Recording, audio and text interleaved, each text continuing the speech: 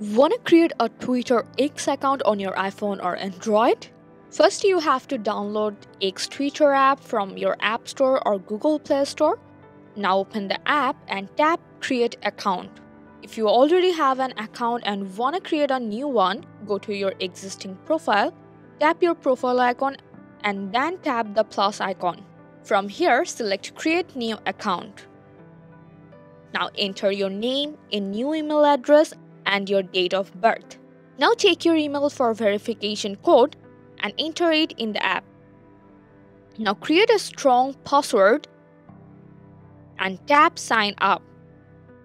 Set a profile photo and choose a username. Stick with the suggested one or skip these steps. Decide if you want to let the app access your contacts. I usually tap don't allow Select at least three interests, then tap next. Choose categories you like for your feed or tap next to skip. Now follow suggested accounts and tap next. And your account is now set up. Tap your profile icon in the top right to view and customize your profile anytime. The process works the same for your Android devices. I hope this helps. Thanks for watching.